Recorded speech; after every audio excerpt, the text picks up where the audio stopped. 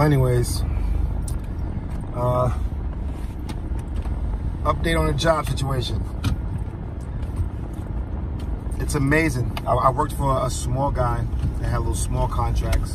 He was paying me pretty decent, but he didn't. The, the truck had problems, and uh, you know, you got to rent the trailer for a thousand dollars a week and all this other stuff. But he was paranoid. Think his brother had passed away or something like that, so uh, he got killed out here in uh, Edinburg or somewhere in Texas, and. Uh, I guess it kind of like mentally just like made him paranoid, him and his brother and his mom. Everybody's paranoid. It was the craziest thing in the world. They were always asking me where I'm at. I'm like, dude, I'm in your truck driving down the street or whatever. So he was like, uh, you know, he was like $50 gas is missing you know, because uh, the liters take you so far and the gallons will take you here or whatever. You should have a decent miles left over. He's never been in trucking. I've been trucking for like 10 years now. And uh, people got to understand that you leave the truck on all night long and they just, it, it boggles my mind. Like, uh, the thing is, he's struggling. And I, and I, and I don't want to talk bad about him, you know but I, I, almost started hating hating a certain group of people, but I realized I can't do that. It's not fair. Because we got bad Mexicans, we got bad blacks, whites, Puerto Ricans, whatever you are. But I started coming out here looking at these players. But we are going to get up out of here because it's like living in Mexico. I'm glad I moved to Texas first. You know why? Because I'm living like, well, not this this part of Texas, like in the valley. My, my voice is sore. The reason why my voice is sore right now because I went crazy John John on him. You know, unfortunately, I had to show him the other side. He was like, he was a little paranoid and shit. I went buck wild on a nigga, like straight up, like ready. I was ready. He, he was like, "What's up?" So I jump out. I jumped out of the truck. You know what I mean? He wasn't ready for that. I think he was still looking for the nice, good John John. How you doing? you know what I mean? Then when I get, when I go back into, you know, trying to hold my composure when I lose it because I got a family, bro. You can't just come to me and be like, you know, you gotta clear out your equipment. Thing is, I took the truck out to San Antonio the other day, and the truck, I kept saying, bro, it needs gas. It needs gas. It needs gas. It needs gas. He didn't want to give me gas, gas. So it got stuck on the side of the highway, and uh, I didn't want to wait. So I, I, walked down the street. I had to go to Walmart, walk two miles just to go to Walmart just to put some gas. And this has happened more than how many times? Uh, how many? A few times. A few times? Okay, quite a few times. So I, all this could have been avoided, but you know, when you're struggling and you're trying to make it, and you you know, you know, you're, you're paranoid. You're like, hey, John, I'm broke, man. So I'm thinking about everything. Well, bro, you, you, you lost a good guy, man. You you know, straight up. I ain't say it like that, but give my money and get my face, bro. You know what I mean? But yo, I literally just turned around, like literally just turned around in the same park, the same place where I parked my truck there's brokers there and there's there's owners and you know supervisors or whatever. So I say, yo, you know what I mean? Even though I caused a scene out there, they'd still listen to my my my, my argument. They they realized I wasn't nasty with them. I was just letting them know that I was loyal. I say, bro, I was loyal to you. You know, and I, I was gonna quit when his truck broke down. And uh, he texted me and begged me, right, baby? Yeah. You know, to go back to work. And I, I had a job, a good job and um, they were like, you know, I had a good offer, and I was just about to fly out to Virginia to go do my, to go, you know, get the truck. And I said, I feel sorry for him, so I'll write. I said, yo, we like family, bro. Don't trust nobody, man. Especially if they ain't. I mean, I don't mean to be like saying like this, but bro, if they ain't your own kind, bro, be careful of these people, man. You gotta make sure you be around them long enough to understand, at least for a long time. You know what I'm saying? That you care for me even though you're a different race, you care for me, bro. Because I care for different people. You know what I mean? Big up yourself, Gina, and all my people out there that's white. All my, I got a, I got white, half white children. You know what I mean? So, you know, you just, you gotta just be careful of what you're doing in life. You just can't trust everybody. You know what I'm saying? I don't even gotta hate nobody, but just be, especially if they're not your same race. I know it sounds crazy, but be careful because people gonna look out for their same race if they're that type of people. I look out for anybody, you know what I'm saying? But even though I love everybody, if I see a black man over a white man, sometimes I tend to try to help out my kind. It's just the straight up facts, man. You know what I mean? But I will not, you know, uh, be prejudiced towards another person or whatever. It's just the way it is, man. Everybody looks out for their own kind. That's why you white, black, Chinese, Puerto Rican, Mexicans, and whatever.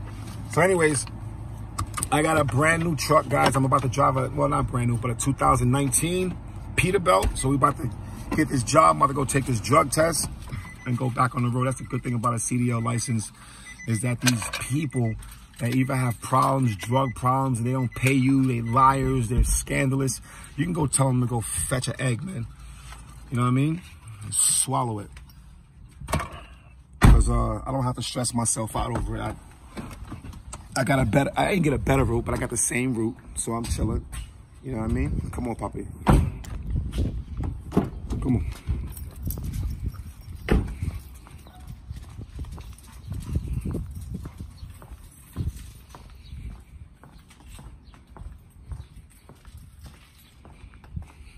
I gotta take that garbage to the can, to the garbage to the can. Do it now, because I was gonna do it. Uh, I'll do it then.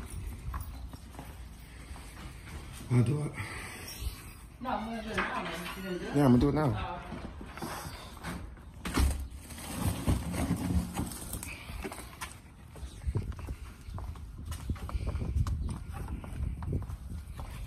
Like, just imagine if I, uh, the things I did for you, you know, I fixed your truck on the road, your truck broke down. You Because I know how to fix certain things, so I'm, I'm fixing his clutch. I fixed the clutch, like like a two thousand dollar tow. Then you gotta pay another fifteen hundred dollars to get the get the clutch fixed. You know what I mean? And I fixed it for him. You know what I mean? His lights electrical problem when I was on his motherboard went out, and I rigged it up just to make all the trailer lights come on. Because you would have to tow that thing out of there. And That'd never been a 15, or you had to wait until the morning to come get it.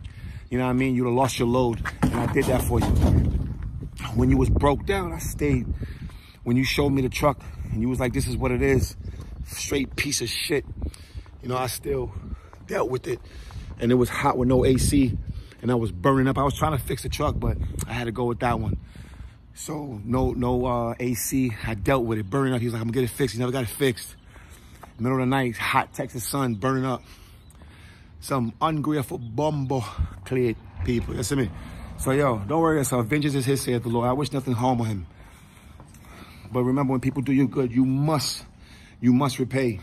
And that's one thing. You shall reap what you sow. Remember what you do to people. So anyways, God bless them, man. But um, I was getting tired of it anyways. So I told my wife, I was like, thank God, you know, sometimes you just need to go on. Like, we've been saying like we wanted to get out of there, huh, mommy? huh? Been saying we wanted to leave.